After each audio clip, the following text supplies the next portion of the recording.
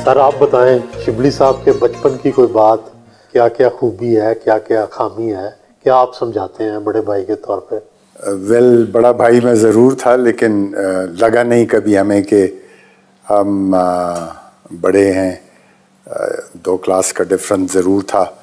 But आपस में हम बॉक्सिंग बचपन में करते थे और शिद्दत से करते थे। वो दिन वो थे जब मोहम्मद अली क्ले सबका आइडियल हुआ करता था। और कभी कभी तो बग़ैर ग्लव्स के भी बॉक्सिंग की।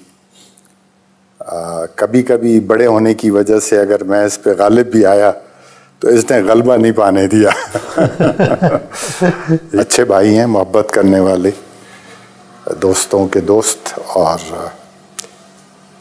इसीलिए जिनसे दोस्ती की है बचपने से चल रही है और चला रहे हैं। हम इनकी कामयाबियों पे खुश होते हैं और आई थिंक जितने भी हमें इर्द गिर्द लोग इस काम सियासत के काम को या खिदमत मुल्क की जिस तरह से भी बन पाती है करते नज़र आते हैं उनमें मुझे शिबली नुमाया लगते हैं। आप ये बताओ कि आपके पापा कैसे हैं? Very nice nice. बहुत जेनरस हैं। आपसे कितना प्यार करते हैं? क्या क्या ला के देते हैं? आपको क्या मशवरे देते हैं? लाइफ के मशवरे देते हैं।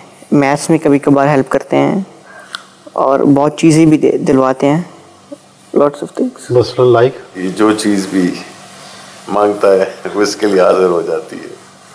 But I really ask what I really ask यार रेयरली नॉट रियली रेयरली और बाबा की कोई चीज़ बुरी भी लगती है? सिगरेट स्मोकिंग स्मोकिंग हैबिट तो बना करते हो? हाँ। फिर? फिर भी पीते हैं।